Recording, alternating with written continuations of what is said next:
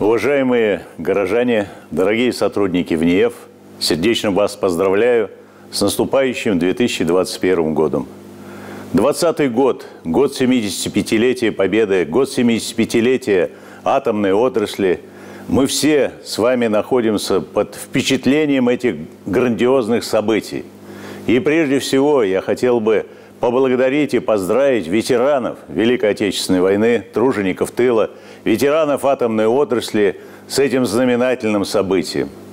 Безусловно, 2020 год, который сформировался и начался масштабными делами в области будущего нашего государства, и в конечном итоге все предложения, которые Владимир Владимирович выдвинул, были приняты всенародным голосованием – они обеспечили будущее нашей страны, будущее ее величия, будущее ее безопасности.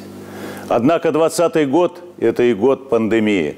Это год суровых испытаний нашего общества, горожан, сотрудников НИЭФа.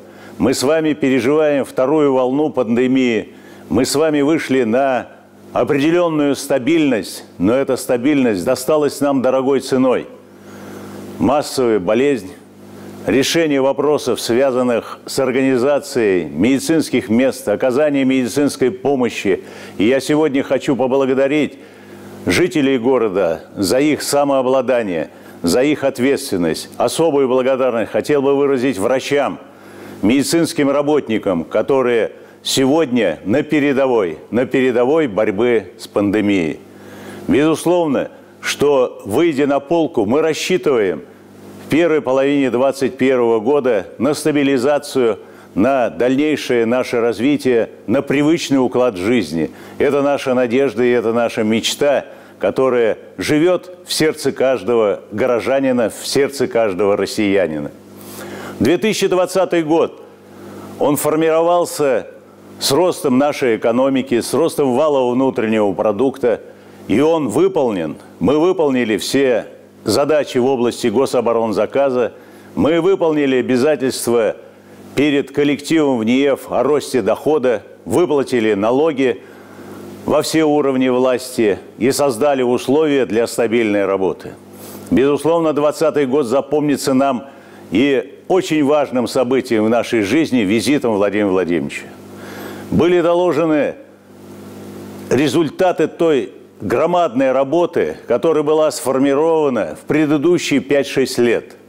И с той настойчивостью, которой Владимир Владимирович вникал в подробности этих работ, вызывает гора... громадное уважение к нашему лидеру, к его способности организовать и направить работу. Однако этот визит ознаменовался еще одним большим событием, которого мы ждали. Определилось понятие «большой соров» – определилось понятие Национального центра физики и математики, определились наши действия в области создания филиала Московского государственного университета.